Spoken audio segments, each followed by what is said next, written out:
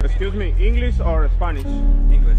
Whoever moves first is gay. Oh, it's this guy. bro. Baby, you got something in your nose. Sniffing that K, did you feel the hole? Hope you find peace for yourself. New boyfriend ain't gonna fill the void. Do you even really like this track?